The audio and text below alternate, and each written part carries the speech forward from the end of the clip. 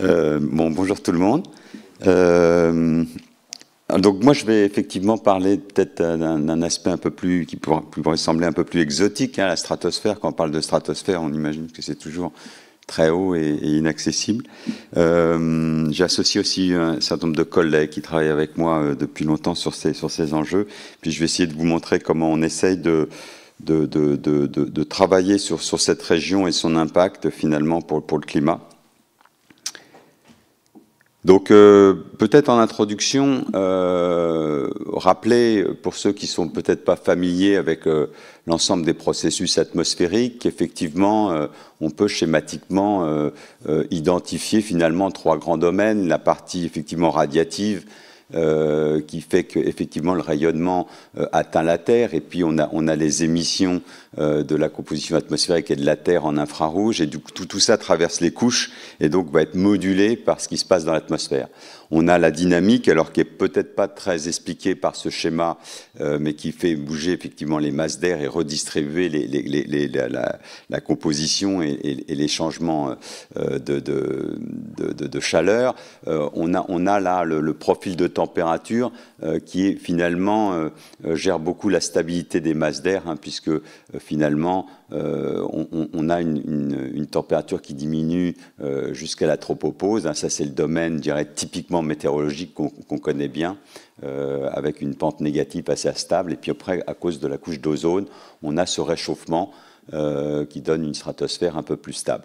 Et puis, il y a tous les aspects chimiques aussi, euh, dont, on connaît très bien effectivement les problématiques autour de l'ozone.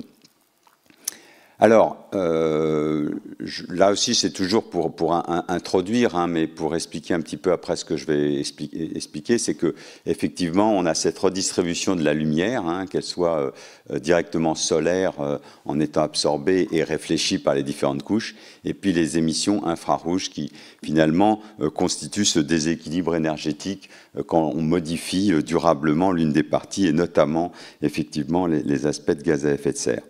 Alors, quand on parle effectivement des gaz à effet de serre, ce que l'on connaît bien effectivement, c'est cette euh, concentration du rayonnement, cette augmentation finalement euh, du, rayonnement qui est prisonnier par les basses couches et qui fait cette augmentation euh, des, températures au niveau du sol. Mais effectivement, comme la source solaire garde la même émission à peu près, hein, dans, l'ultraviolet où on a des, cycles, de 11 ans, et ben du coup on a, un rayonnement qui manque euh, finalement dans la partie euh, de la haute atmosphère et du coup on a un, refroidissement apparent. Euh, et donc si, au niveau du sol on a quelques dixièmes de degrés, on a quelques degrés euh, au niveau de la, moyenne atmosphère, hein, au-dessus au -dessus, dans la stratosphère et mésosphère. Et donc, on, s'attend à voir ce refroidissement et qui est aussi associé finalement à un refroidissement qui va être associé au, euh, à la diminution d'ozone. Donc euh, on, peut tout à fait regarder cette, euh, euh, cette, évolution. Alors, juste pour faire un tout petit peu d'histoire, les premières mesures effectivement de la traite atmosphère, on les a fait par fusée, avec des fusées sondes. Et alors, à cette époque-là, on, a lancé ce gros programme très coûteux, mais assez stratégique, euh, qui finalement euh, était assez utile pour, pour mieux connaître cette région. Cette période-là, c'est la période quand même de l'exploration euh, euh, spatiale et lunaire, qui faisait qu'on avait besoin de faire la climatologie de, des, hautes couches. Alors, bien évidemment, aujourd'hui, on on on a parlé, on a des satellites. Euh, qui permettent de mesurer la température à haute atmosphère.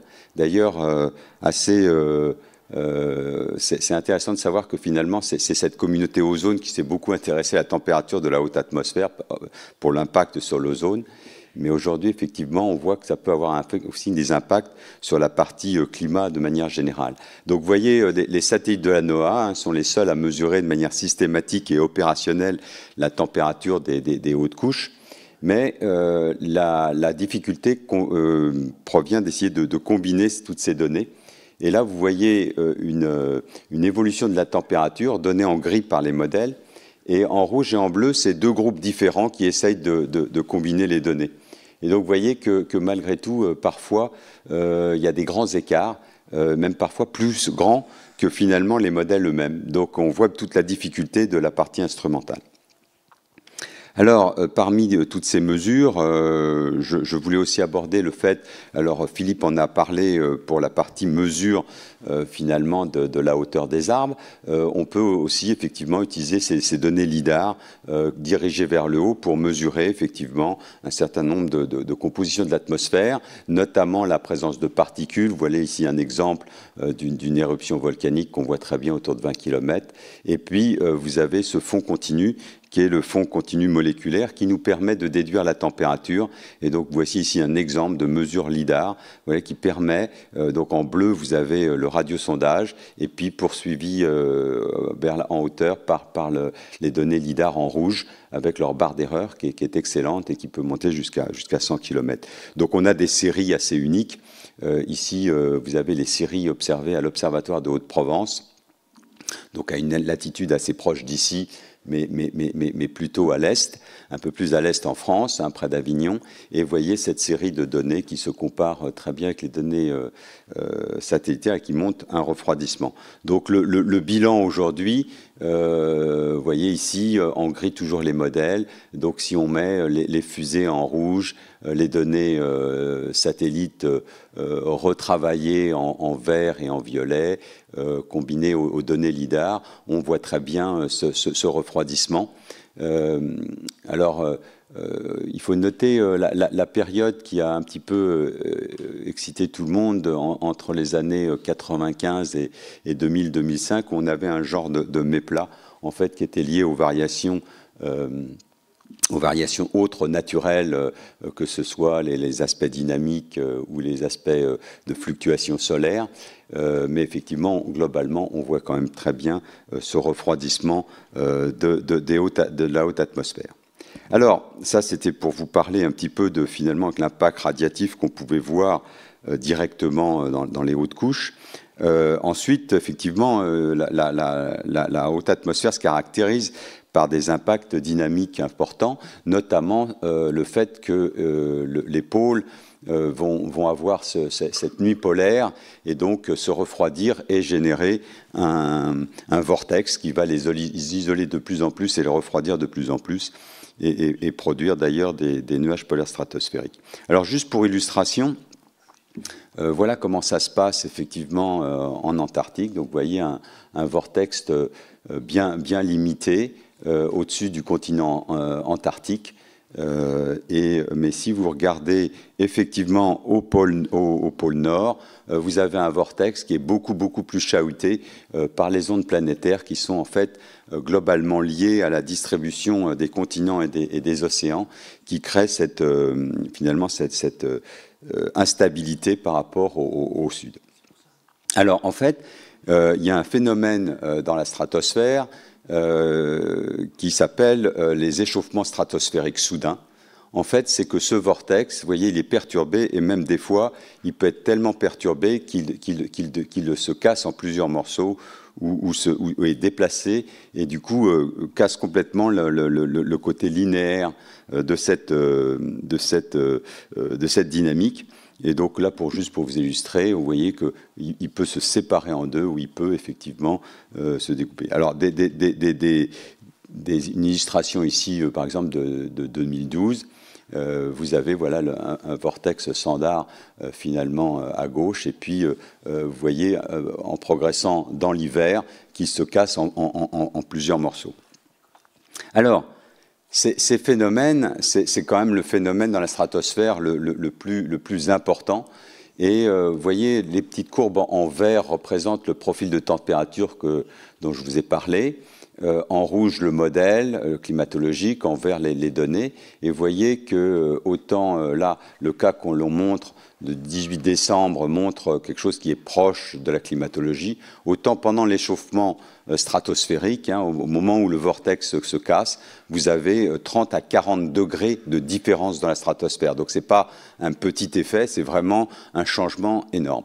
Et alors, ce qui est intéressant pour vous montrer l'intérêt euh, de ces études, c'est que lorsqu'on regarde les, les, modèles de climat qui vont produire naturellement ces effets, puisqu'ils les produisent, euh, vous voyez tout en bas euh, la distribution de l'observation hein, donnée par effectivement les données météo. Vous voyez que tout en bas, là, en janvier, on a le, maximum de ces événements de rupture du vortex. Et quand vous comparez à cette climatologie les différents modèles, vous voyez que certains produisent des échauffements stratosphériques en, plutôt en fin d'hiver, euh, d'autres en janvier, mais beaucoup plus forts. Euh, c'est le cas d'ailleurs du modèle LMDZ Reprobus, là, qui est le modèle français, euh, et parfois pas beaucoup d'échauffement. Donc on voit bien que, malgré que ce soit un événement extrêmement fort, il n'est pas si bien reproduit que ça dans les modèles. Et, euh, donc, et, chaque modèle, qui sont les modèles climatiques qui servent effectivement euh, euh, aux, évolutions, enfin aux, estimations du GIEC, montre que la partie stratosphérique est quand même très très variable. Alors, il y a un point qui a été très important. désolé, la mise en page est un peu cassé. Euh, en fait, c'est Baldwin et Dankerton qui ont fait effectivement une analyse en essayant de caler ces événements à zéro pour voir ce qui se passait. Et finalement, c'est les premiers qui ont mis en évidence que lorsque l'on avait des, années avec cet échauffement majeur, eh ben, on avait un effet d'une part qui semblait montrer que depuis le sol, on avait quelque chose qui pouvait générer euh, peut-être induire cette, euh, cette, cassure du vortex, mais également un impact de la stratosphère vers le sol. Euh, et on voyait l'inverse lorsqu'on prenait les années qui n'étaient pas avec un, échauffement stratosphérique. Alors à l'Observatoire de Haute-Provence, vous avez des données originales dans, dans, la haute atmosphère, on a regardé ça. Donc là, vous avez l'altitude en fonction de, de l'hiver, et vous voyez en rouge euh, la période où on voit des échauffements par rapport à, je des années sans échauffement, et puis au sol, effectivement, une température un peu plus froide, donc euh, euh, montrant qu'effectivement, ceci était une réalité dans nos observations. Alors, on a revisité ces études. Et lorsque l'on regarde les échauffements stratosphériques, vous voyez, là, de novembre à mai, on s'aperçoit qu'ils se produisent à différentes périodes. Euh, comme je vous le disais, hein, c'est des événements, on ne sait pas bien pourquoi ils se produisent, on a du mal à les prédire, euh, sauf avec des modèles euh, météo dans lesquels on injecte des données où, au bout d'une semaine, en, une semaine, on arrive éventuellement à voir l'arrivée de ces effets, mais on n'arrive pas à bien les produire. Alors en fait, ce qui est originel, c'est qu'avec une analyse un peu statistique, on, s'est aperçu que finalement, le moment où arrivaient ces événements était probablement pas, complètement aléatoire, et on est arrivé à les séparer en, trois classes. Euh, une classe où ils se produisent en janvier, une classe où ils se produisent en février, et une classe où euh, il peut y avoir deux échauffements par an, un en décembre et, un en, mars-avril. Et du coup, on s'est aperçu que ça, tous les hivers suivaient l'un de ces modèles-là. Et, donc, euh, ça permet, euh, le gros intérêt, c'est qu'on voit ici une possibilité éventuellement de faire de la prévision saisonnière, parce que du coup, on voit que c'est relativement prédictif. On ne sait pas pourquoi ça va arriver euh, en janvier, février, décembre, mais on, voit qu'une fois que c'est arrivé, la suite de l'hiver, dans la stratosphère du moins, va être prédictive. Donc ça, c'est assez intéressant. Alors après, quel, quel, va être sur ces trois euh, mode que l'on a identifié, l'impact au sol. Alors là, ça, paraît beaucoup moins clair que ce qu'avaient fait euh, Baldwin et Dankerton au départ. On voit qu'il y a effectivement des impacts au sol, mais qui ne sont pas toujours euh, systématiques. C'est-à-dire, vous voyez, dans le mode de, janvier, on voit, qu'il y a un lien, effectivement, en janvier, au moment de l'échauffement, éventuellement une queue qui arrive pour, pour avoir des impacts en avril. En janvier, euh, pour le mode de février, vous euh, voyez aussi qu'il y a éventuellement un effet euh, qui part du sol, mais effectivement, l'échauffement lui-même n'a pas l'air de, causer un impact très fort. Par contre, dans le mode double, on voit qu'effectivement, le deuxième échauffement crée, un, signal important. Alors, ce mode double, d'ailleurs, ce qui est intéressant, c'est de voir que c'est le cas qu'on a eu cette année. Euh, et, ce qui est intéressant, c'est de voir que, voyez qu'il y a une grande différence entre ce qui se passe euh, en, fin décembre et ce qui se passe en, mars-avril. Et donc on, se demande si finalement le dicton de, Noël au balcon pas cotisons euh, serait, pas assez corrélé avec ce genre d'hiver-là. Qui, qui, semble voilà l'indiquer. Alors, la, problématique aujourd'hui, c'est quelles sont les causes qui vont induire l'une des, des, des, évolutions dans la stratosphère. c'est ça, ça reste.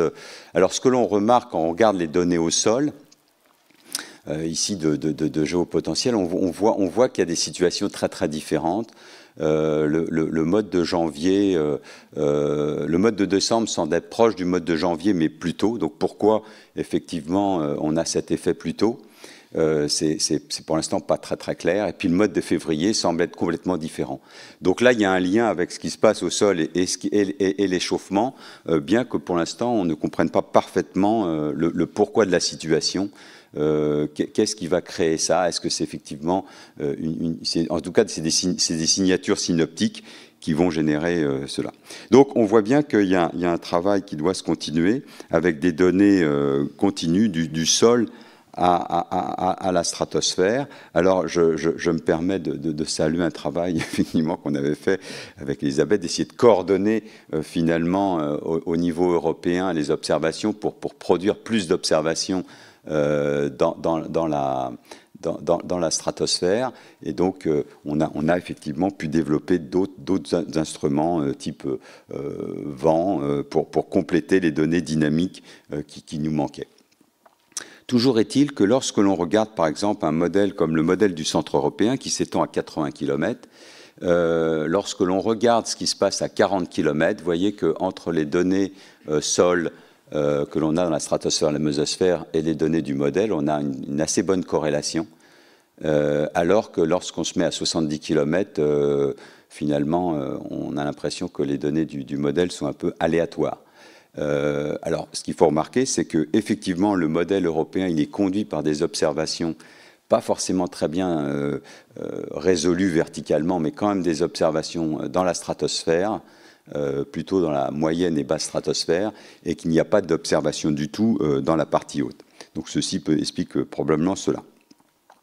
Alors, euh, maintenant, je vais passer finalement à un, autre thème, hein, puisqu'on on avait impact radiatif, impact dynamique. Bien évidemment, dans la stratosphère, le fait qu'il fasse froid euh, va effectivement créer un, impact fort sur la, sur, sur, la chimie. Donc je, je, passe assez vite parce que c'est relativement connu, c'était juste un rappel euh, qu'effectivement euh, on crée du coup euh, du froid et donc des, nuages polaires stratosphériques qui vont fixer les chlores, qui vont au printemps effectivement détruire l'ozone. Donc c'était pour réillustrer un petit peu ce que c'est que le trou d'ozone. Et vous voyez le profil vertical d'ozone là-bas à droite qui, qui, montre en bleu un profil standard et puis euh, des profils, euh, euh, des profils finalement qui sont avec un, trou d'ozone. Alors, la, partie ozone, si on fait l'historique, effectivement, ce qui était intéressant, c'est qu'il y a eu de la régulation, hein, puisque on a eu ce, protocole de Montréal en 87 et puis après en 97 un autre protocole qui a complètement arrêté la production. Et donc on voit bien ici simulé par les observations en noir mais, et, les, modèles en gris euh, qu'effectivement, euh, on, avait un petit peu compris euh, l'ensemble du phénomène. ceci faisait aussi l'objet de, rapports de WMO. Ce qu'il faut noter, c'est que sur cette problématique de l'ozone stratosphérique, on s'aperçoit que c'est quand même la, première fois qu'on est face à une ingérence finalement environnementale, puisque avant on parle de pollution, on n'y connaît pas grand-chose, donc on pense que c'est limité à chaque, chaque État, voire chaque ville. Euh, et finalement, l'ozone, avec ces, gaz à longue durée de vie, effectivement, euh, enfin, les, gaz qui vont attaquer l'ozone à longue durée de vie euh, vont, faire qu'on va être obligé de, s'occuper de, la, régulation de ces émissions. Alors, dans, ce cadre-là, on a mis en place un, réseau d'observation pour l'ozone hein, depuis un certain temps. Hein. je vous ai montré là les 40 ans d'observation. Euh, en France, on a, une belle station à l'Observatoire de Haute-Provence, une en Antarctique à Dumont d'Urville et une effectivement euh, à, l'île de la Réunion. Et on a développé un certain nombre d'instruments sol euh, avec des résolutions plus ou moins importantes pour, regarder tous ces paramètres. Alors, juste là, je vous remonte, puisque je l'ai montré pour la température, un peu un état de, ce qu'on voit sur les, sur les observations. Donc vous voyez qu'effectivement, l'ensemble des observations, plus ou moins bonnes malgré tout, convergent euh, pour montrer cette diminution très forte de l'ozone que l'on a connue euh, sur, les moyennes latitudes et, qui se, résorbe progressivement, toujours en gris. Euh, ce sont les modèles et celle-ci a été déjà un petit peu vieille, donc j'ai mis une, des données plus récentes pour vous montrer qu'effectivement, on, attaque très clairement la, la, recovery, enfin, le retour euh, des, concentrations d'ozone comme on les avait connues auparavant. Mais ceci euh, prend effectivement plusieurs dizaines d'années. Alors maintenant, je vais vous parler un petit peu des approches euh, que l'on a nouvelles avec les satellites. Alors je remercie Philippe qui a très bien introduit la problématique parce que finalement, elle, est vraie sur la plupart des domaines. Euh, alors, juste pour en, illustration, euh, montrer que euh, effectivement, en géostationnaire, on est à 36 000 km, donc pour faire des observations un peu précises, on se met à des orbites plus basses. Alors, je ne sais pas comment je vais lancer. Voilà. Et donc, si on est en défilant, effectivement, on voit qu'on on va couvrir le globe. Cela étant, quand on couvre le globe, la problématique, c'est que du coup, on n'est pas partout en même temps. Euh, donc si on a des images avec un champ assez large, bon, ben, on arrive à faire une carte. Si on a des mesures qui nécessitent un peu un pinceau, eh ben, du coup, il va falloir extrapoler. Alors juste pour vous illustrer euh, ce phénomène, ici par exemple, euh, vous voyez en rouge par exemple un, cycle annuel, un cycle journalier par exemple. Et puis si je mesure avec une périodicité plus grande que ça, vous voyez qu'on génère des, finalement des, raies fantômes euh, qui, n'existent pas à cause de, ce cycle diurne. Et donc des cycles diurnes, euh, dans tous les paramètres qu'on mesure, on, en a. Donc euh, finalement, ce problème d'échantillonnage pour les satellites est quand même très très critique. Et ça correspond un petit peu à la, stratégie qu'on avait jusqu'à présent. C'est-à-dire qu'on faisait des satellites extrêmement précis mais euh, on en faisait un. Et donc, du coup, euh, quelle que soit la qualité de ce satellite, il, manquait des, observations. Alors, c'est illustré ici. Vous avez là les émissions infrarouges données par le, modèle européen, avec une assez bonne résolution. Hein, c'est la partie en, haut. Et puis, si je prends un satellite classique, en le supposant idéal, donc mesure parfaite, et eh ben, euh, finalement, en, une journée, il produit cette image un peu floue parce qu'on euh, on est obligé d'extrapoler entre deux, observations. Euh, si on met 10 satellites, décalés chacune pour couvrir le globe, vous voyez que déjà, on, reproduit beaucoup mieux, finalement, le, le, le champ que l'on souhaite mesurer. Alors, la difficulté, c'est que si on veut 10, satellites euh, et des constellations, ben, il faut que les coûts des satellites soient moindres. Et donc, euh, c'est comme ça que nous, on est passé euh, finalement à explorer l'utilisation du CubeSat. Alors, le CubeSat, enfin le nanosat, le petit satellite, on finit par parler de microsat. On est un peu dans la même famille. le, CubeSat, il se trouve que le CubeSat a un gros intérêt, c'est que c'est un standard et que ce standard fait deux choses. C'est que d'une part, il y a des euh, entreprises qui peuvent développer des cartes standards et donc euh, faire du business. Et du coup, on peut, avec euh, un genre de mécano, alors je dis un genre parce que ça reste quand même un peu technique hein, de faire un satellite, mais on, peut fabriquer avec ce qui existe sur le marché, hein, on appelle ça des composants sur étagère, faire, un satellite. Alors ce sont des cubes, on, on couple des cubes de 10 cm par 10 cm par 10 cm. Et l'autre gros intérêt de ces satellites standardisés et petits, c'est que du coup, ils peuvent être déployés très facilement, c'est-à-dire qu'il n'y a pas besoin d'interface compliquée. On sait qu'ils sont un multiple de 10 par 10, et donc vous avez des déployeurs euh, qui aujourd'hui euh, déploient les satellites euh, de manière très très facile. Et vous voyez en bas la courbe du nombre de ces petits satellites, comment elle va augmenter. Alors, on a expérimenté cela d'abord avec un premier satellite euh, qui s'est appelé du nom de l'université, hein, l'université de Versailles-Saint-Quentin, UVSQSAT, qui avait pour objectif, avec des petits capteurs euh, infrarouges et visibles, d'observer simultanément euh, la lumière solaire, la lumière provenant du Soleil, mais aussi provenant de la Terre, qu'elle soit dans le visible ou qu'elle soit dans l'infrarouge. Donc, vous voyez, c'est tout un tout petit cube et, ce cube, voilà, avec, un capteur par face, permettait, quelle que soit son orientation, de nous restituer avec un peu d'IA, finalement, ce qui venait du Soleil et ce qui venait de, du sol. Et puis, bien évidemment, on ne s'est pas arrêté là, puisque l'idée, c'était de faire une constellation alors une constellation euh, en même temps un petit peu euh, euh, hybride, c'est-à-dire qu'à chaque fois on garde ces, capteurs-là, mais on y rajoute des choses. Donc le premier satellite qui a été envoyé en 2021, c'était un cube de 10 par 10 par 10. Le deuxième, c'était un cube de, c'était déjà deux cubes. Et puis le prochain, qui va être lancé en 2025, hein, plutôt en mars 2025, c'est un SISU donc euh, déjà plus, plus, plus important. Et derrière, on est en train de travailler sur le prochain SISU. Euh, euh, la, difficulté sur les satellites, c'est juste qu'ils soient fiables. Hein. vous avez tous dans votre poche un téléphone. Bah, ça, c'est un satellite en puissance, sauf qu'il sera jamais satellite parce qu'il ne pourra pas résister au milieu hostile qui est, le spatial. Et donc, euh, c'est là la difficulté où il faut effectivement mener des tests pour que l'ensemble de, cette technologie puisse résister au milieu hostile euh, qu'est le spatial. Donc le premier satellite consistait à, regarder le déséquilibre radiatif. Donc vous voyez euh, en bas là comme illustration ce que peut produire un petit satellite comme ça. Bah, des cartes d'émissions infrarouges. Alors, bien évidemment, avec un petit satellite comme ça, on ne prétend pas faire euh, la même qualité qu'avec un gros satellite. Euh, mais euh, comme ça a été un petit peu introduit par Philippe avant, en multipliant le nombre de satellites, bien, évidemment, on, compense, parce qu'en fait, finalement, la difficulté dans le spatial, c'est d'avoir une mesure absolue. ça nécessite de, vérifier les étalonnages, de s'assurer qu'on corrige tous les problèmes. Et du coup, ça, ça fait que c'est un satellite souvent très très gros et très complexe. Euh, si on se contente d'avoir juste la mesure qui vous fournit la variabilité avec un capteur sensible, et eh ben après, euh, vous, arrivez finalement à trouver des techniques en en ayant plusieurs d'auto-calibration ou, euh, comme on l'a vu, en calibrant avec des données sol.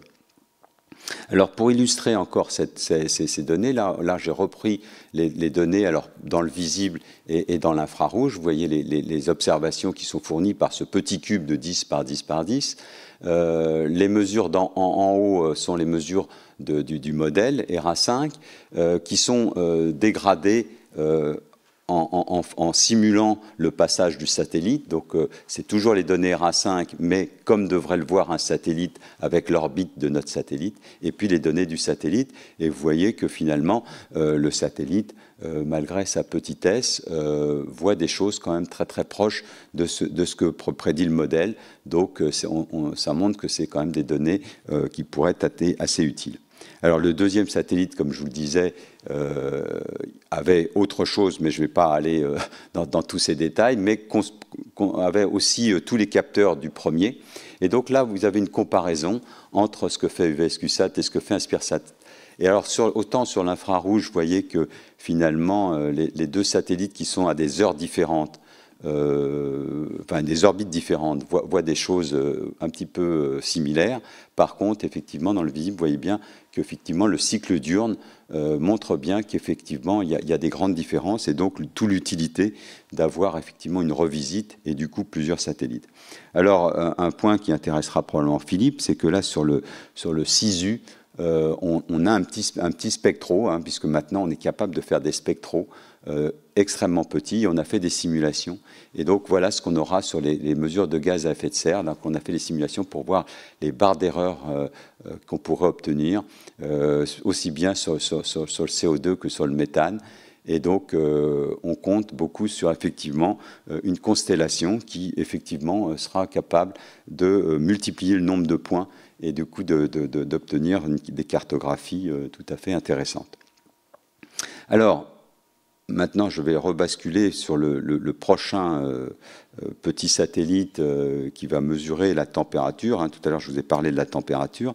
Et pour vous illustrer ça, je reprends les données opérationnelles qui existent aujourd'hui, produites par la NOAA, avec d'abord des instruments qui s'appelaient euh, Stratospheric Sounding Unit, SSU, et puis maintenant c'est la MSU, mais avec les, résolutions verticales. Donc ça, c'est les données qui sont assimilées dans les modèles. Alors vous voyez que les résolutions verticales avec SSU, c'était presque 20 km. Maintenant, on a, on a avec les, micro-ondes une résolution bien meilleure, mais qui reste quand même limitée à la moyenne stratosphère et, et, quand même pas très très résolue. Alors, du coup, on a imaginé une nouvelle mesure en partant d'un satellite euh, qui s'appelait GOMOS, qui observait les, couchers des étoiles. Donc, c'était une occultation stellaire qui permettait de voir le spectre du Soleil se couche, euh, euh, à travers l'atmosphère et, pouvoir mesurer un certain nombre de, constituants. Vous voyez ici une illustration avec l'ozone NO2, NO3 qu'on était capable d'obtenir avec ce satellite. Il se trouve que ce satellite, en plus de regarder les étoiles, avait deux bandes pour regarder ce qu'on appelait le bruit, c'était en fait c'était la diffusion euh, du, du, ciel. Et cette diffusion du ciel, finalement, euh, tout comme le LIDAR, c'est la diffusion moléculaire qui nous permet d'accéder effectivement euh, au, finalement à la densité de l'atmosphère et donc la température. Et donc, on a inversé ces données de Gomos pour avoir effectivement des séries de températures. Donc, c'était un produit pas prévu, mais qui montre qu'en regardant uniquement euh, finalement le, limbe éclairé, on est capable d'avoir un profil de température euh, quasiment aussi bon que les lidars, comme je vous montrais.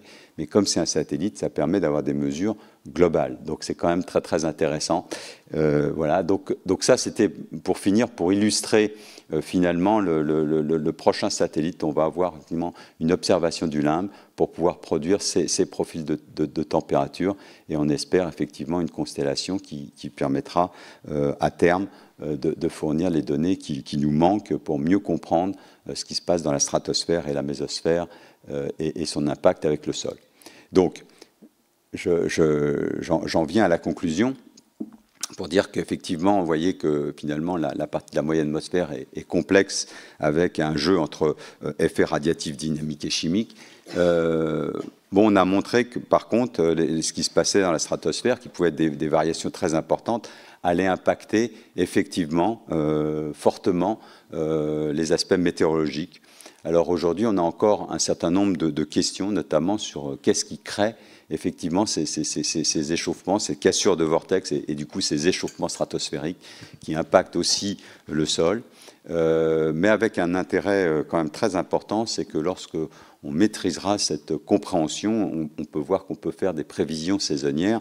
Donc c'est quand même tout à fait intéressant euh, si on arrive à prédire en début d'hiver si finalement en mars-avril il va faire froid ou pas. on voit bien tout l'intérêt pour l'agriculture, pour un certain nombre de choses.